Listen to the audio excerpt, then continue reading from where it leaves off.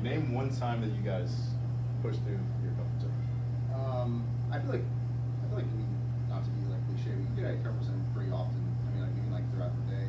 Um, I know that one major thing that I did recently um, that kind of like I kind of had like this kind of big idea to, to start training uh, with this other guy doing like uh, starting a new sport uh, with weightlifting, and like I didn't I didn't really know like how to start or anything like that. It's, it's kind of like the same kind of thing. People come to like a new gym, super nervous, everything like that, and I just kind of like told myself, I was like, stop putting it off. Stop telling yourself, oh, I'll do it next week, uh, you know, or, or start, you know, later on. Um, and then I don't know what happened. I just I just texted the, the owner and uh, said, hey man, think about coming and, uh, and training with you. And uh, I don't know, it just it was easy. It wasn't like as, as frightening as I thought it was. Absolutely. And the number one thing, my number one takeaway today. So they taught me how to do a backflip today, and you know I would say I got it maybe ninety percent of the way. But the one thing that helped me, the one thing that actually let me get my most successful rep, was when he said, "Be a person that jumps," because you know it's so easy. We talk about this a lot too. Basically, get paralyzed, um, analysis paralysis. Like we do research, we want to think things out. And in this day and age, everything is so readily available to us, it becomes confusing. But if you just become a person that jumps, you'll find it. You know, even if you're upside down at the time, you'll find the way to kind of do that that second half of the rotation. So that was that was huge. Yeah. What about you? Um, I would say biggest thing coming out of my comfort zone is like just being in a leadership role right now, and just like there's a lot of pressure that comes with that. You know, like you just feel like you're always like there's always some kind of analysis going on. Just completely paralyzed because all you're thinking about is is interpretation of what you're doing. What could go wrong, Yeah, yeah. Yeah. What's going wrong with what you're doing, and so um, it's like really uncomfortable at times, but that I'm getting comfortable being uncomfortable with that, and it's like I'm, I'm feeling like when I have that weight on my shoulders, when I, when I know it's pressure's on, It that it's making me comfort zone, too. more efficient. Like it's dri- it's a driving force Oh, yeah. instead of a pro, like Only something way that's to grow, absolutely. Exactly. Yeah. pressure. Yeah. Exactly. Yeah. But once you get comfortable with that a little bit, you know, it's just You can scale it up from there. continuously, yeah, you continuously grow it. Yeah. Yep. That pressure becomes your new comfort zone, and then you're able to push a little bit further, a little Right, bit right, further. right.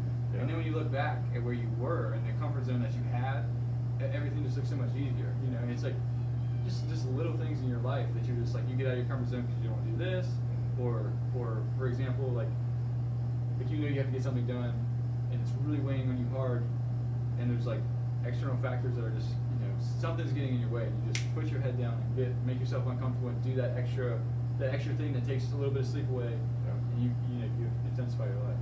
Exactly. And I think the main thing is that when you push yourself, whether it's in the gym, this is why it's so much bigger than personal training because when you push yourself in one realm of life, one aspect of life, it transcends into others.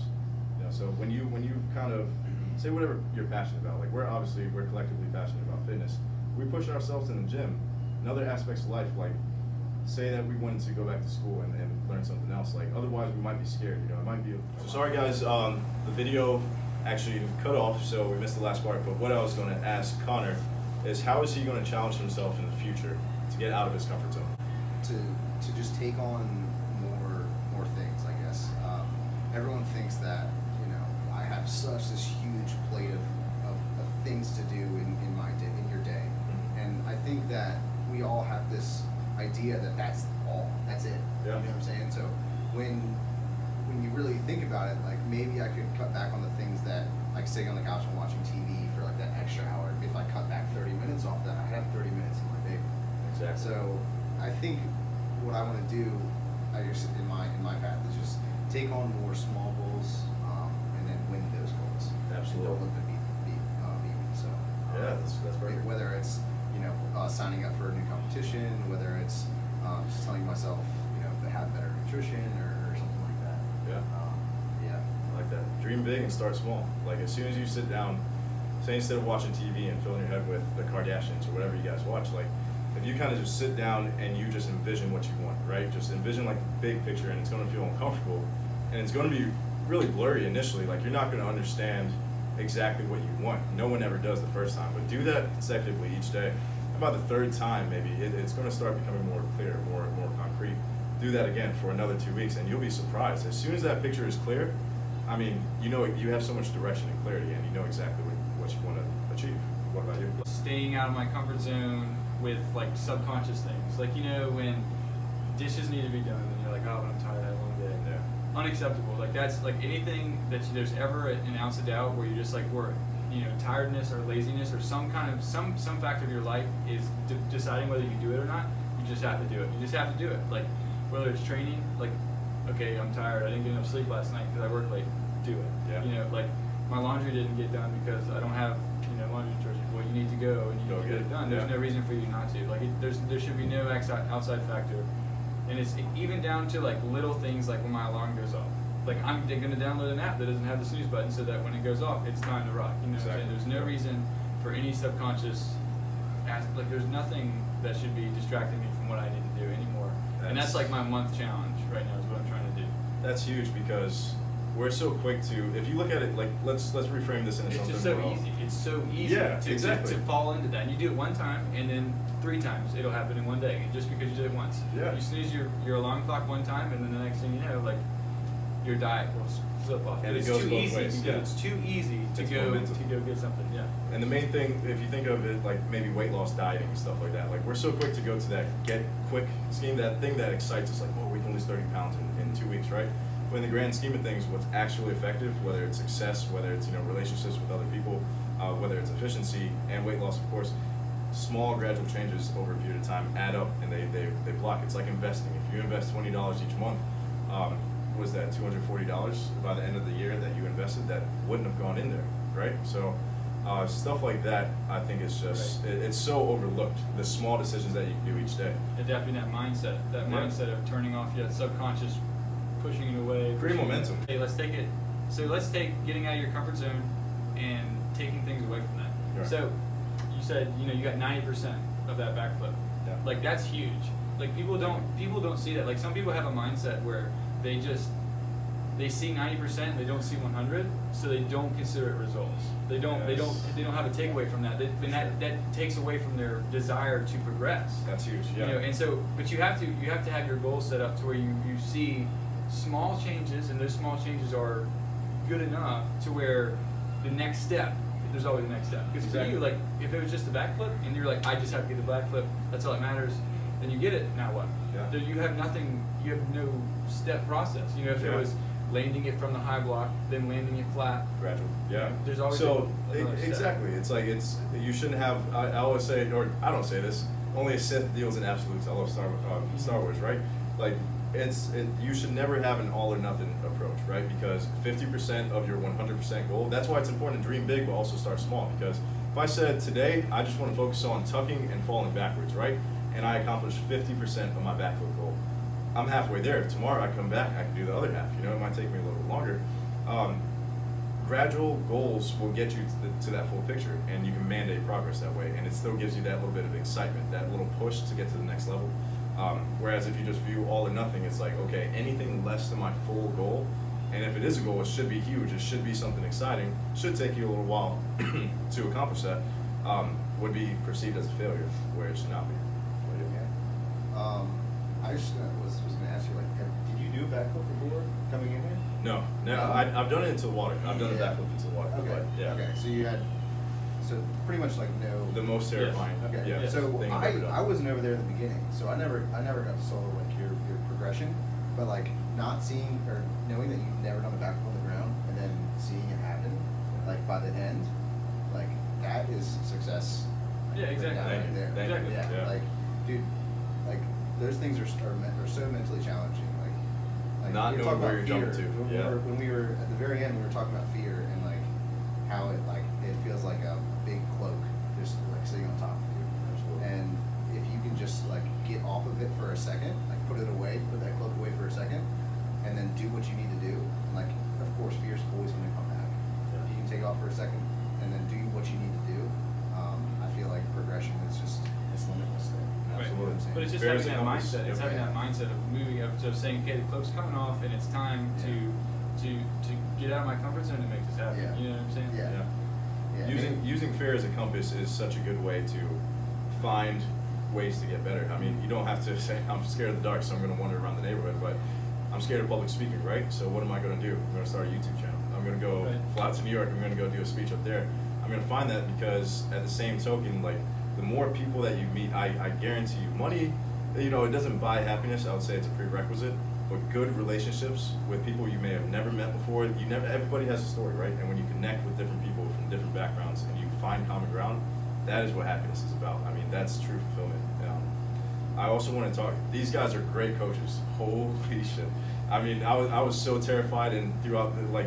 Well, think about the connection that you got that just from that, just from being outside of your comfort zone. Like Absolutely. You, you, you, you know, two people you've never met before. You felt like you trusted with your life because that's Yeah. like that's how you feel. You know, Yeah. you're in such a high stakes scenario in your Yeah, head. fair bonding. Yes, absolutely. Yeah, absolutely. so Ryan and Conner, Ryan's not here. Um, these guys are so good at what they do. These guys work at Burn Fit Athletics in Suffolk, Virginia, and they're two of some of the best coaches I've ever encountered. I mean, they're so encouraging, they're so knowledgeable. When it comes to personal training, um, there's two aspects. There's a training aspect, you have to know about anatomy, you have to know about exercise physiology, but the most underlooked part is being personable and being, you know, very, very sound in motivational techniques and inspirational techniques and knowing how to basically take someone from point A to point B, and these guys are so great. So uh, tell them a little bit about what you guys do, what you specialize, um, what your passions are, and how you got, got into this too. Like everybody has a story about how they got into personal training, and it's always a variation of I wanted to help people, and it's always really interesting. So go ahead and tell me. good. good. Well, I started uh, way back. My, my dad was actually my, my head football coach, so that was you know a super fundamental thing, just like wanting to help and like you know being there. Um, got into fitness uh, after high school, um, and just got you know cert after cert, and decided to go back to school. Um, and currently at ODU right now, so getting that done. Um, and yeah, just What do you study? Uh, exercise science. Awesome. Yeah, so right up the right up the alley. Um, but yeah, I just wanted to, like you said, help man. It just feel it feels good, you know. It's Right. not it's not even like you know just like you know, and it's not all about me, but like it, it gives you this feeling of like when someone accomplishes like when you did that backflip, like I think yeah, like it's start like, back with how you got into it. You wanted to help people right yeah, so um, I wanted to help help people, um, and like like it feels good from from you know out outside perspective when someone achieves something. You know what I'm saying? Right. So um, it's not just them feeling one thing; it's it's it's the relationship. Absolutely. Um, so that that felt good, and I was like, man, I I'd like to do this. Like, why not make this you know a good career path? Um, and then so I went back to school and, and uh, currently trying to get my CSCS, which is what, what uh, Jake has. Um, and hopefully, you know, we can both run this gym. Well, exactly. Yeah, that's the Yeah. that's the big picture. Yeah. Um, talk about CrossFit competitions as well. Yeah, it's not Yeah, all so it's awesome. I started off uh, doing CrossFit uh, competitions in 2014. That's also when I got my CrossFit level one and started coaching CrossFit. Um, I've been doing it kind of like just as a weekend warrior kind of thing. But once I took this job in July, I started training full time. Um, I qualified for a bigger event in Miami in January that I'm going to go to. Um, so that's pretty exciting. That's really big out of That's my comfort big, zone. That's super, Wow, super, super, You're super You're out of my traveling. comfort zone. to Yeah, yeah, yeah, yeah. That is intense. It's yeah. very intense. That is but awesome. I mean, like that's something I like to do, and like what I like to do is one thing, but what my members like to do, like the ex- the group exercise portion, and then like team training, that's very different. You know what I'm saying? So like my why for me is an internal thing. Like I like to compete like that. Like that's my. It's like It's your outlet. yeah, it's my outlet for my stuff. You know what I'm Yeah. saying? But I like. Like, Push that's that's why like I have two different things. Like that's my that's getting out of my comfort zone as a person and my personal development for me. But then my personal development as a professional is working with the teams, you know, and trying to be a leader in that aspect with the group fitness and things that we're doing there, Absolutely. and trying to develop not only just like basic, you know, obviously like anatomy things and making people like reduce risk of injury and things like that, but also trying to cultivate leadership and kind of like like a lot of stuff that we, we work with with the baseball team. The baseball team has a lot of good leaders.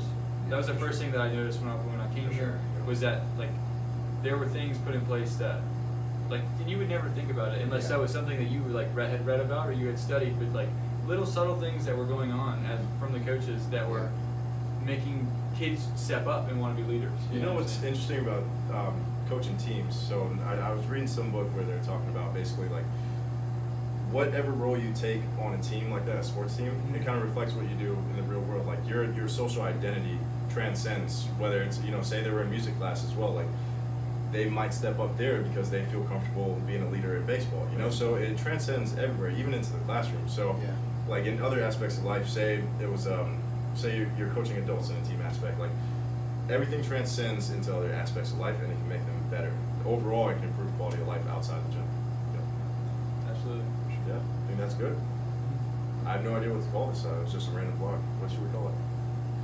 Uh, Stepping out of my, backflips on a jumping out of my comfort zone. Yeah. but like a series, what would it be? Like personal trainers, the Chronicles of Personal Training. No, help me, help me. Hmm. What should we? Um, I don't know. Ethan and the Burn Fit Boys. Yeah. Ethan and the Burley Boys. we bring them back, baby. I guess we don't need a name. I'll just I could write We can think something. something. Yeah. Think think something. Mm. Three, two, one. I like the Burford boys too. Yeah, Ethan and that's Burford funny. boys. Ethan and the Ethan Burford and Boys. Burley. Yeah. We'll do this weekly. I can Yeah. come Yeah, back. we can do it. Yeah, Yeah, that'd be that'd be awesome. dope. It will work out. Okay. So let's. Damn, your hands are so hard. I know, so- so that- I hit it. I was like, damn. um, we'll call this Ethan and the Burnfit Boys. Okay, guys. Thank you for watching, and don't forget to step out of your comfort zone. Okay. Thank you. Have a good one. Yep. Oh, yeah. Oh yeah.